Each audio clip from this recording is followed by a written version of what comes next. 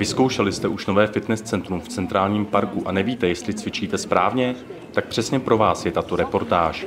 Ve dnech 2. a 18. července jste se mohli dozvědět, jak správně posilovat.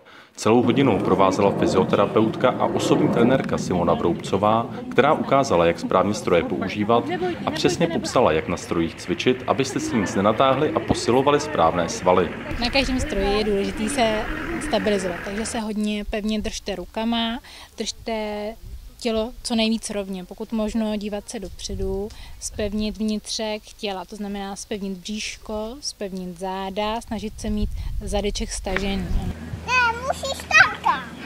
A jak lidé nejčastěji chybují? K beláci, kteří se na předváděcí hodinu přišli podívat, si odnesli tyto rady. Já se rozhodně dýchám špatně. Tak se musím snažit na to myslet, a protože dýchám obráceně.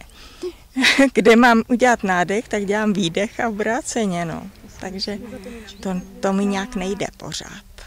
Tak musím na to myslet. No, my jsme dělali skoro všechno špatně, protože když jsem to teď viděla, jo, tak jsem na to hopla začala jsem se tam kroutit a ono to není tak jednoduché. Opravdu je to dobrý tohle, že nám to ukázalo.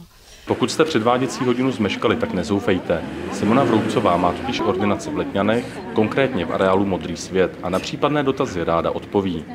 No a samozřejmě pokud bude zájem tady od belských občanů, tak eh, my se dohodneme, naše společnost Skillfit se určitě dohodne s úřadem a opět můžeme udělat nějaké ukázkové hodinky pro veřejnost. Pokud máte zájem o předváděcí hodinu, můžete napsat na náš redakční e-mail gbelitv.gmail.com nebo na e-mail paní Killingerové info